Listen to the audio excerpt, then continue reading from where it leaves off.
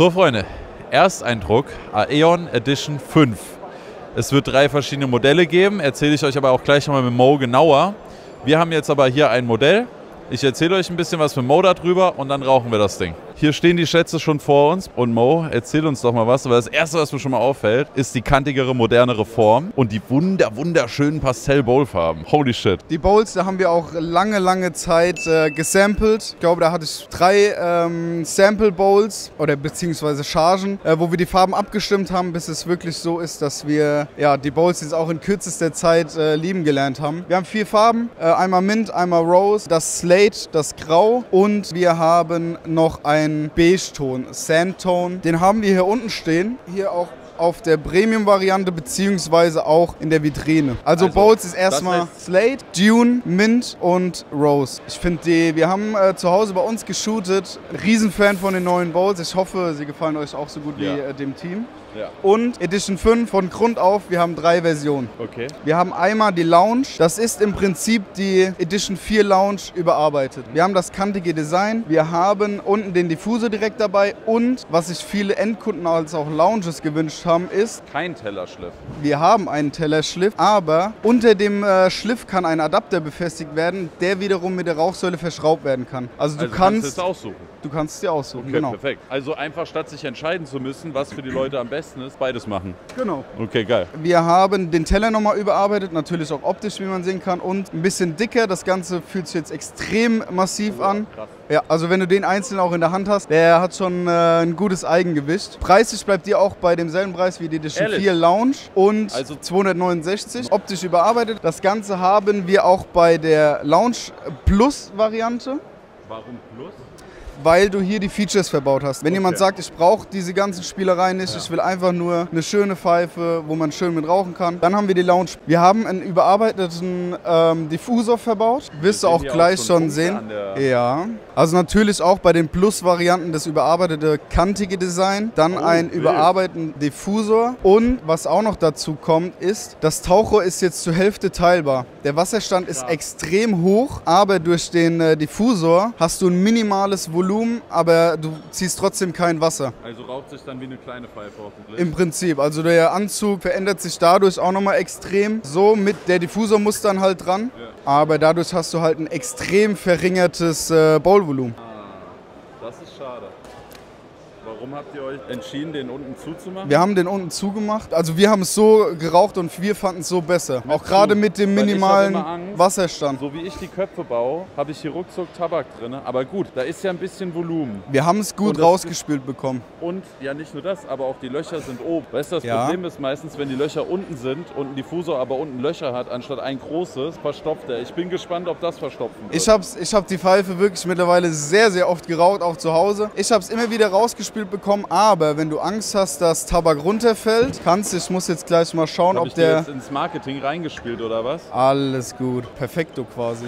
Ja? War das echt die Vorlage gerade? Wir haben natürlich auch einen kleinen Molassefänger verbaut. Also ja, ja, ich muss jetzt gerade mal schauen, ob der auch hier verbaut ist. Ist er natürlich nicht, aber wenn wir rübergehen zu der Premium, Ist der Zubehör oder ist der dabei? der ist bei den Plus-Varianten dabei. Okay. Was kostet die Plus? Die Plus kostet 330. Also da ist schon ein bisschen was draufgekommen. Aber sind noch ein paar Feature draufgekommen. Was ist das? Molassefänger, der hält für einen, ich habe den mit einem Must-Have-Kopf im Mehrlochkopf getestet. Und das Ganze wird einfach hier reingeschraubt. In den Schliffanschluss vom Kopfadapter. Und das Ganze kann dann einfach wieder reingesteckt werden. Und das hat dir für einen Must-Have-Kopf gereicht? Hat mir für einen Must-Have-Kopf gereicht zu Hause. Krass. Der kann Und halt eben schnell gewechselt werden. das, die Idee dahinter, wenn ich jetzt sage, der reicht nur für einen Kopf und ich habe jetzt meinen Kopf geraucht und ich nehme dann meinen Teller und spüle den einfach so einmal durch, dann ist der auch sauber. Ist er auch sauber. okay, dann Ich ist das sowieso- geil, dass der da drin ist. Sowieso immer rausschrauben, weil theoretisch kann halt hier auch mal ein Blatt hängen oder so. Ja. Aber von unten ein bisschen Wasser rein, dann Okay. sollte das Ganze wieder. Aber ich sag mal, dadurch haben wir einen Molassefänger, keine Optik von einem Molassefänger. Genau. Und dass der hier drinne ist, wenn du gerade einen Kopf geraucht hast, hast du Asche drauf, der Kopf ist vielleicht noch heiß, nimmst du eh gerade den Teller, gehst in die Küche Genau. und dann hast du den mit durchgeführt. Okay, Also ich wechsle äh, den Kopf eh immer dann mit Teller abnehmen, in die Küche tragen und neu vorbereiten. Also wer, könnte man den Mola-Fänger sowieso direkt äh, reinigen.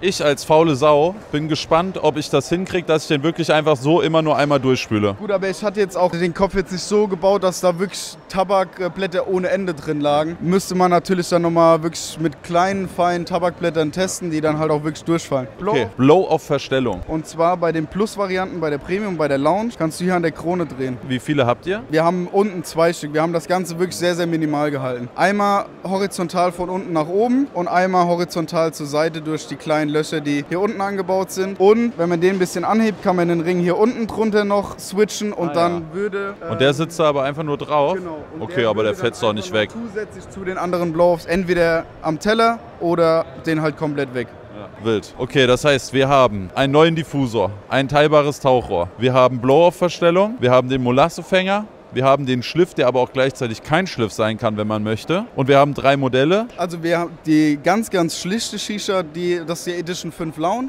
einfach Lounge, Und dann Lounge Plus. Features, Lounge Plus und die Premium Plus. Okay, aber bei der Premium gibt's, äh, achso, bei der Premium gibt's nur eine Premium Plus Genau. und gibt's bei der Premium auch keine Basic und so mehr. Das gibt es nicht mehr. Das APS-System haben wir natürlich auch überarbeitet. Wenn man da filmt, sieht das Ganze auch schon optisch deutlich anders aus. Und Das ist ja riesig, warte, das muss ich mir mal angucken.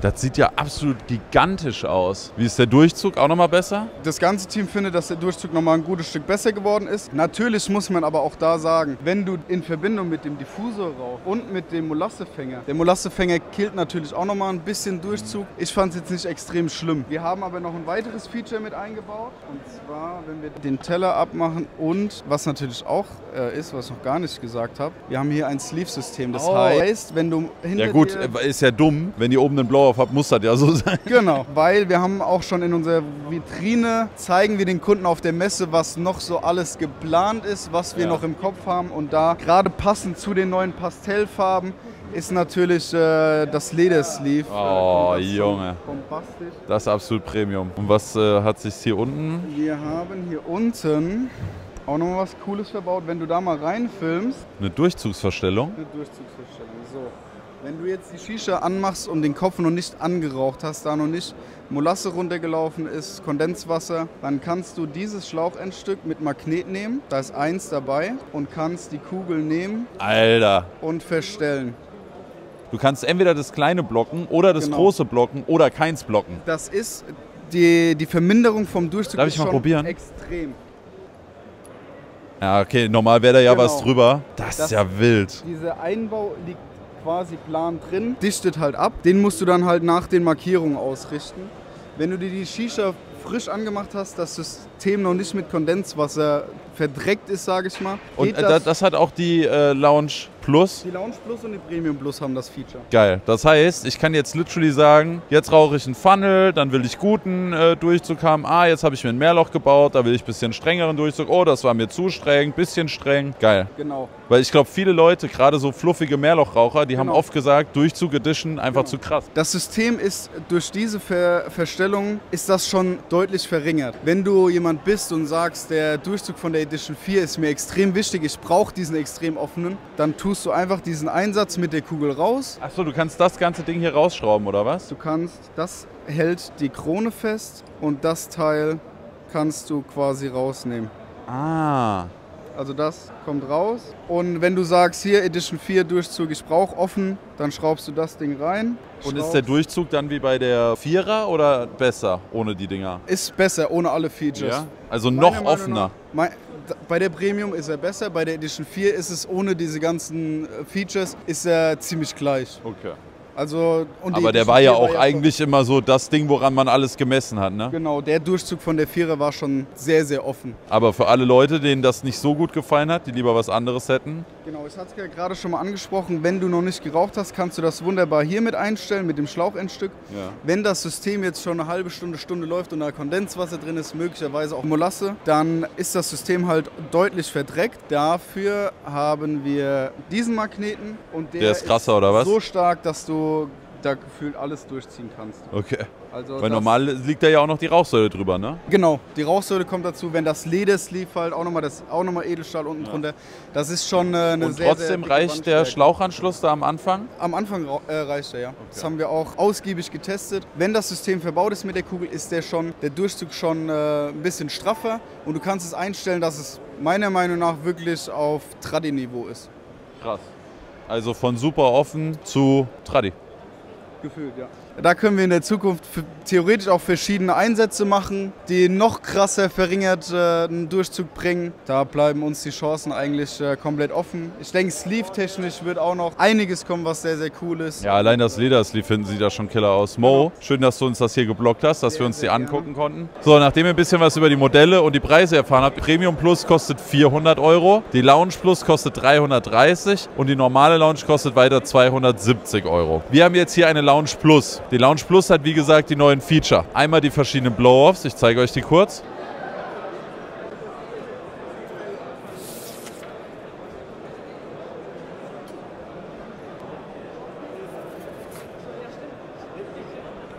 Und außerdem habt ihr vielleicht schon oben gesehen, dass da noch ein Blow-Off rauskam. Und zwar, dann haben wir da oben diesen Ring und den Ring können wir auch drehen. Eben war an, jetzt müsste wahrscheinlich aus sein. Ah, es gibt verschiedene. Es gibt verschiedene. Okay, ich lass mal so. Jetzt ist nur unten. Genau, das heißt, wir haben den neuen Tellerschliff, wir haben oben einen verstellbaren Blow-Off, wir haben unten einen verstellbaren Blow-Off, wir haben den neuen Diffusor und wir haben die Möglichkeit, mit dem Schlauchanschluss hier diese Kugel zu verstellen. Da habe ich eben schon mal ein bisschen mit einem etwas stärkeren Magneten rumgespielt.